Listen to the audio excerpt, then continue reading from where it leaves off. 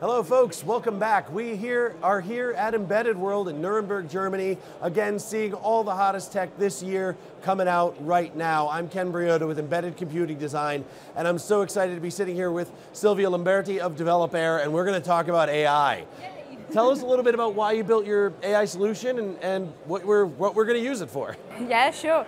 So our solution is based on um, symbolic AI, and uh, it has been created because um, at the engineering level, when you develop a critical software, you need to do a lot of amanuensis activities, right? You need to uh, input requirements, uh, then validate them, and also write test cases.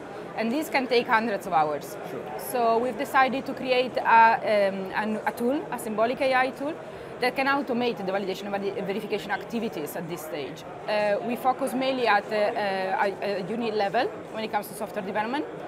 And uh, our solution provides you a very intuitive way uh, to define requirements using restricted natural language.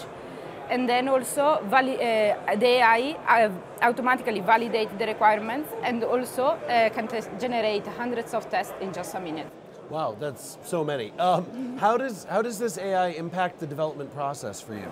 Well, yes, uh, our customers have uh, uh, recorded a very good uh, positive impact, uh, not only from a cost reduction, that we are talking about 30-50%, and uh, also a reduction of development time of the entire software process up to 50%, but they also notice a much better management of the resources because software engineers can be particularly expensive and therefore they can be allocated to more productive activities rather than uh, low value added tasks. So they're faster to market and more efficient. Yeah. Sounds like a win.